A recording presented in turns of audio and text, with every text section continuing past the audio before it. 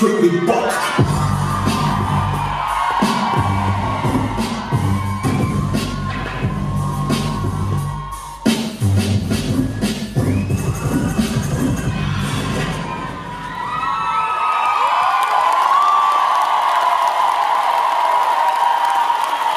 Друзья, настоящие